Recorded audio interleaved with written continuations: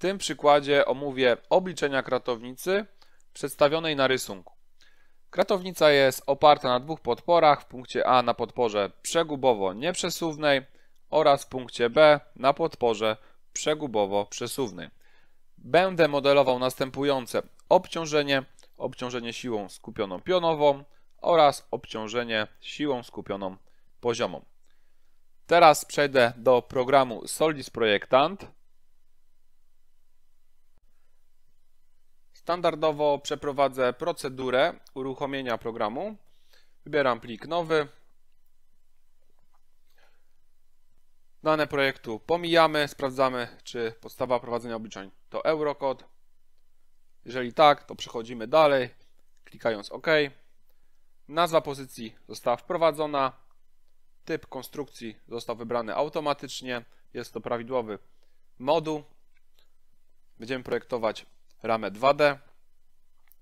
Informacji dodatkowych nie wprowadzamy i przechodzimy dalej, klikając OK.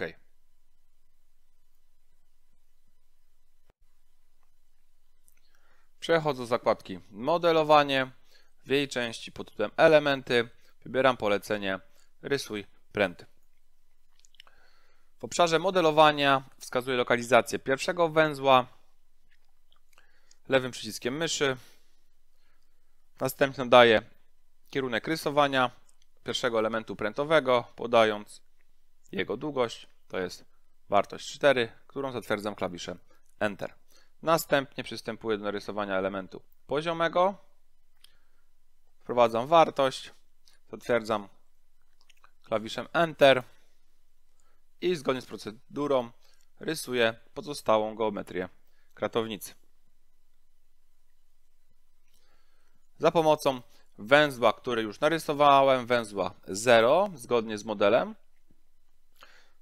przyłączam do niego element prętowy poziomy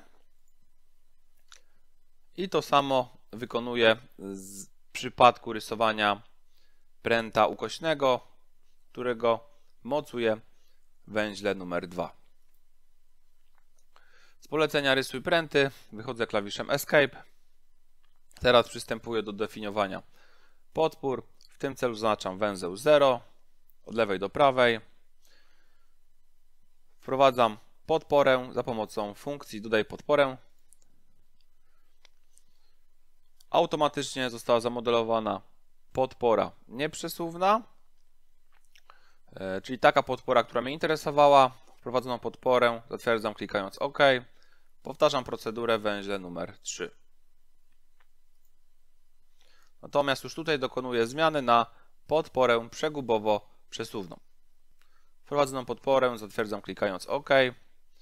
Teraz modeluję przeguby, ponieważ kratownica jest elementem, który posiada połączenia przegubowe. W tym celu zaznaczam kartownicę od lewej do prawej strony. No i za pomocą funkcji wstaw przeguby we wszystkich węzłach zamodelowałem połączenia przegubowe.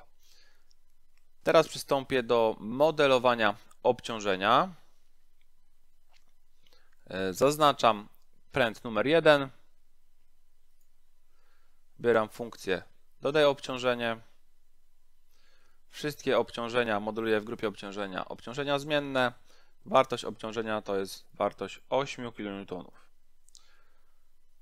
Wprowadzoną wartość zatwierdzam klawiszem Enter. Zmieniam położenie na początek pręta. Kąt pochylenia jest zgodny z załączonym rysunkiem. Wprowadzoną siłę zatwierdzam klikając OK. Teraz przystąpię do zamodelowania kolejnej siły. Zaznaczam element prętowy drugi. Wybieram funkcję dodaj obciążenie. Grupa obciążenia pozostaje bez zmian. Wartość obciążenia wynosi 10 kN. Taką wartość wprowadzam, zatwierdzam klawiszem Enter. Położenie jest zgodne z załączonym rysunkiem, natomiast muszę zmienić kąt pochylenia. Wybieram za pomocą tej ikonki e, polecenie poziomo. Dokonałem zmiany kąta pochylenia. Wprowadzoną siłę zatwierdzam klikając OK. Teraz mogę przystąpić do wymiarowania geometrii, czyli sprawdzenia, czy nasz model został narysowany zgodnie z załączonym rysunkiem. W tym celu przychodzę do zakładki Narzędzia i wybieram funkcję Wymiar poziomy. Za pomocą charakterystycznych węzłów, czyli miejsc, w których łączą się elementy prętowe, mogę wymiarować naszą kratownicę. Otrzymałem linię wymiarową długości 4. E, odkładam ją za pomocą lewego przycisku myszy. No i powtarzam procedurę, ale już za pomocą funkcji wymiar pionowy, ponieważ taki wymiar chcę otrzymać.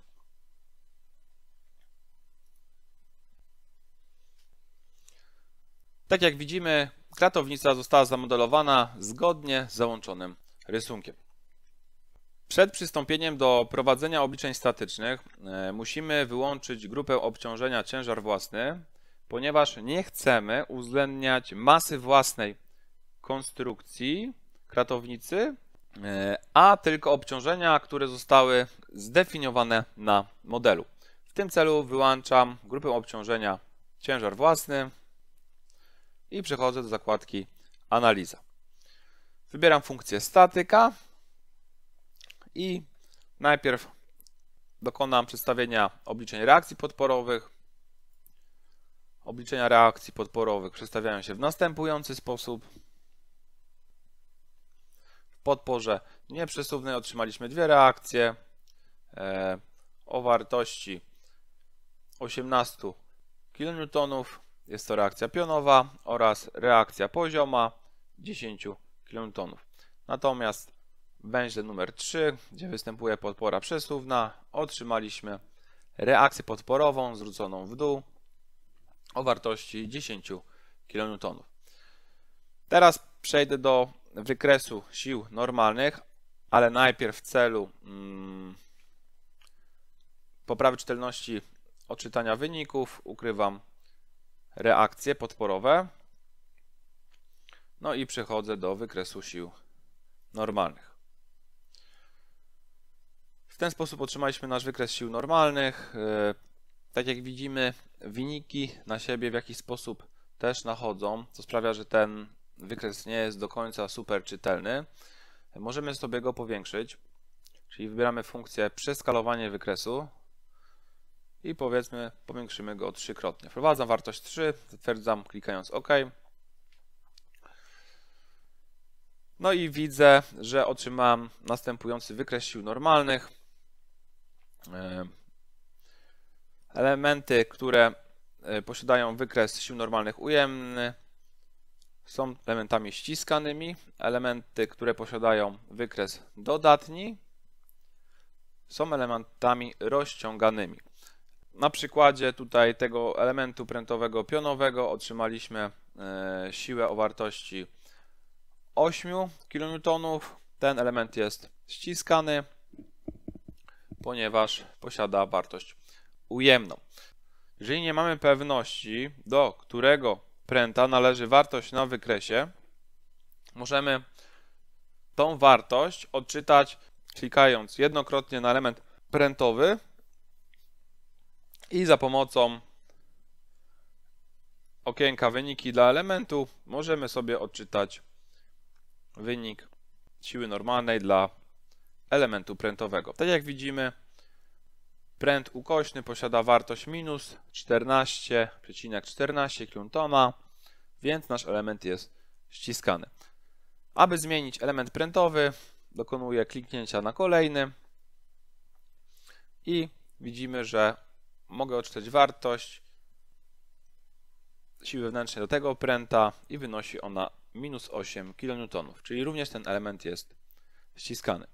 E, natomiast pręt numer 2, klikam na ten element, no i widzę, że wartość siły normalnie do tego elementu prętowego wynosi 10 kN, czyli element jest rozciągany. Możemy zauważyć, że naszej kratownicy nie powstają e, wykresy sił tnących i momentów zginających, w związku z tym, że nasze obciążenie siłami skupionymi jest przyłożone w węzłach,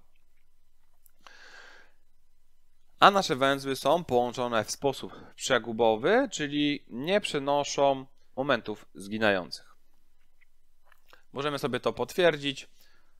E, jeszcze wybierając wykres siódnących, widzimy, że on jest zerowy i również momentów zginających, który wygląda ten sam sposób.